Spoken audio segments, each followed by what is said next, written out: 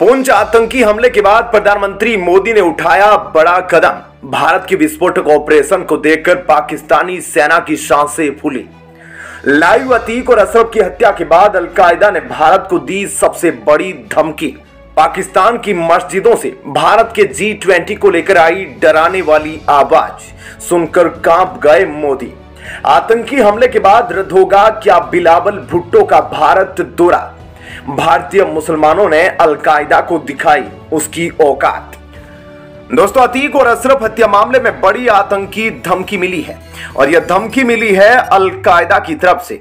यह धमकी उस वक्त आई है जब जम्मू के पुंछ डिस्ट्रिक्ट में आतंकवादियों ने भारत के पाँच जवानों को बंद गाड़ी में जलाकर शहीद कर दिया था। इस हमले में तीन पाकिस्तानी आतंकी भी शामिल थे, जो चीन में बने हथियारों से भारतीय सैनिकों के काफिले पर हमला किए थे।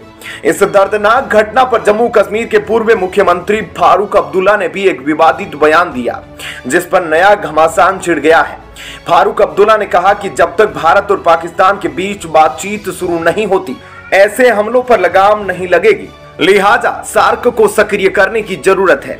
इस घटना के बाद पूरे घाटी में ताबड़तोड़ सर्च ऑपरेशन चलाया जा रहा है। आसमान और पाताल में हंटिंग के लिए हेलीकॉप्टर के साथ ड्रोन की मदद ली जा रही है और ज़मीन के चप्पे चप्पे पर तलाशी ली जा रही है। इस पूरे अभियान को प्रधानमंत्री मोदी और अजीत डोभाल की निगरानी में चलाया जा रहा है, क्योंकि अगले महीने ही कश्मीर में दुनिया भर के नेता जी ट्वेंटी मीटिंग अटेंड करने के लिए आने वाले हैं। बताया जा रहा है कि पाकिस्तानी कब्जे वाले कश्मीर के रास्ते से पुंछ हमले को अंजाम देने वाले आतंकियों ने घुसपैठ की थी। आस पड़ोस के गाँवों में आतंकी छिपे हुए थे। आतंकी हमले की ज़िम्मेदारी पीपुल्स एंटी फासिस्ट फ्रंट, यानी पीएएफएफ के नाम के आतंकी संगठन ने ली है। पीएएफएफ पाकिस्तान बेस्ड आतंकी संगठन जैसे मोहम्मद का ही बदला हुआ रूप है। इससे पहले भी जम्मू कश्मीर में कई आतंकी हमलों में इस संगठन का नाम सामने आ चुका है। कई लोगों के अनुसार पुंछ हमले का बदला लेने के लिए जी ट्वेंटी मीटिंग के बाद भारतीय सेना पाकिस्तान में घुसकर बड़ी स्ट्राइक या ऑपरेशन कर सकती है। भारतीय जवानों के साथ यह घटना तब हुई जब भारत और पाकिस्तान के रिश्ते सुधारने के लिए पाकिस्तान के विदेश मंत्री बिलावल भुट्टो एससीओ मीटिंग में 4 मई को भारत आने वाले हैं। पिछले 12 साल में यह पहला ऐसा मौका है जब पाकिस्तान का कोई विदेश मंत्री भारत आ रहा है। जानकार बताते हैं कि अगर पाकिस्तान एससीओ मीटिंग अटेंड करने भारत नहीं आएगा तो वह भारत, रूस के साथ साथ चीन को भी नाराज़ कर देगा। उनका मानना है कि भारत ने पाकिस्तान को हर मामले में वर्ल्ड लेवल पर आइसोलेट कर दिया है। ऐसे में गोवा में आयोजित एससीओ मीटिंग को अटेंड न करके पाकिस्तान एक बार फिर से आइसोलेट हो जाएगा, जिससे भारत को बड़ा फ़ायदा होगा। यह भी संभव है कि पाकिस्तान इस मीटिंग में भारत आकर कश्मीर मुद्दे पर भारत को ही आईना दिखाने की कोशिश करने लगे। वहीं दोस्तों, जम्मू कश्मीर के पूर्व पुलिस चीफ का मानना है कि इस आतंकी हमले को देखते हुए बिलावल भुट्टो के भारत यात्रा को तुरंत कैंसिल कर देना चाहिए।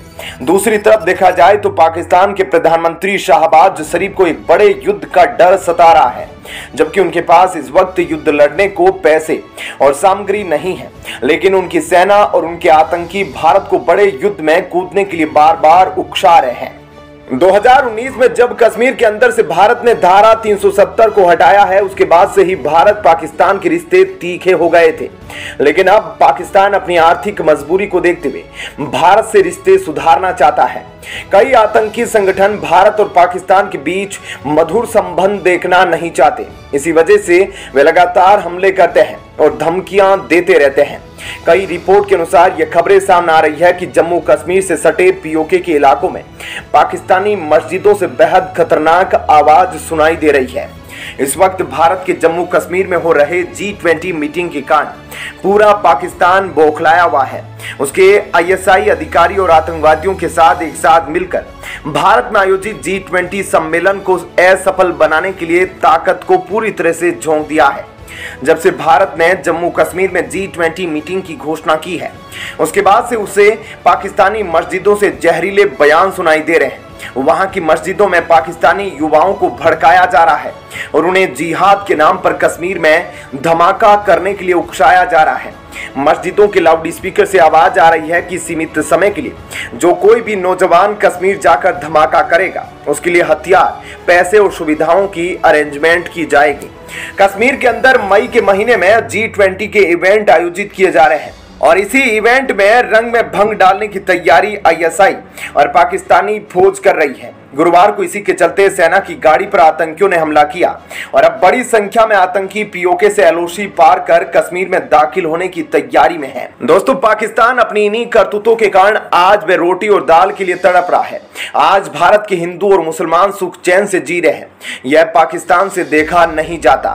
वह बार बार घात लगाकर भारत के हिंदू और मुसलमानों को लड़वाना चाहते हैं और उनकी हत्या कराकर उन्हें खुशी मिलती है। तो उधर दोस्तों, अमेरिका जैसे ताकतवर देश को घुटने पर लाने वाला खतरनाक आतंकवादी संगठन अलकायदा ने सात पन्नों की मैगजीन जारी कर कहा कि अतीक अशरफ हत्याकांड का बदला लेंगे।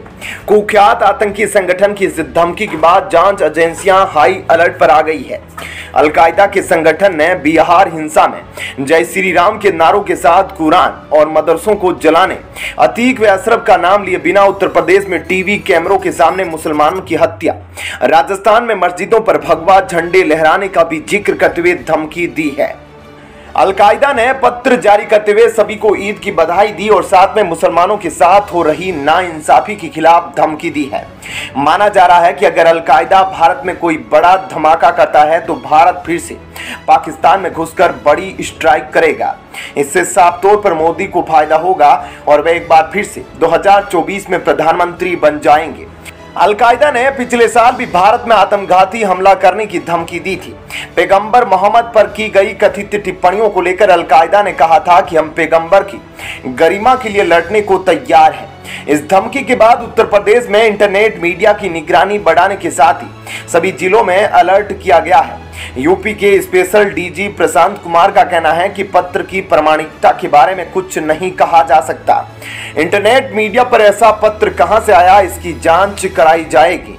अलकायदा की धमकी से भारत में मुस्लिम समाज के लोग खासे गुस्से में हैं। स्थानीय लोगों को लगता है कि अलकायदा ने इस तरह की बयानबाजी करके उनके आंतरिक मामलों में दखल दिया है। लोगों ने कहा कि केंद्र सरकार आतंकी संगठन को इसका माकूल जवाब देगी। मुसलमान भी वतन परस्त है और हमेशा अमन चैन के लिए खड़े रहने वालों में भी है। इस पूरी खबर के बारे में आपकी क्या राय है, हमें नीचे कमेंट करके ज़रूर बताएँ और वीडियो को लाइक और चैनल को सब्सक्राइब ज़रूर करें। धन्यवाद, जय हिंद।